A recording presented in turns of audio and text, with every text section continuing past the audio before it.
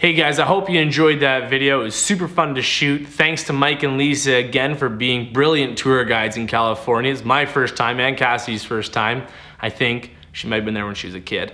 I'm gonna try and keep this short so I can go run some stairs real quick and be healthy and enjoy this nice warm weather because we are not in California, we are in Calgary. So we gotta take advantage of the weather when we can. Before I get out of here, I'm gonna go and uh, get a nice little time-lapse video with this lens, the Leica 100-400. For those of us who are nerds and we need to hear this information, the 100 to 400 on a micro four thirds is like a 200 to an 800 on a full frame sensor. So I'm gonna see if I can get out to those mountains and uh, see how it goes. So I hope you enjoy it.